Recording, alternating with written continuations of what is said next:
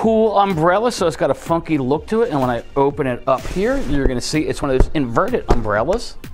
And so I take this out, I'm in the rain. When I get into my office, I go like this, all the water stays in the top, and then I can put it upside down and it'll drain on a mat. I don't have to make sure that my office floor doesn't become messy. It also has this funky handle here.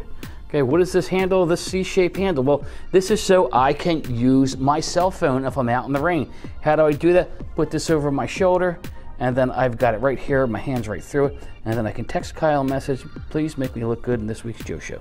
And then I send it off to him, I get into office, or when I'm getting in my car, I'm terrible at getting in the car, I take the umbrella the whole way, then I get soaking wet when I get in because I have to put it down. This way I can sneak right into that door, boom, in, put it on the passenger seat, and I'm good to go. Great for anyone who uh, commutes to and from work, especially public transportation. If they're waiting at train stations or bus stops, um, this would be a great gift for them to have.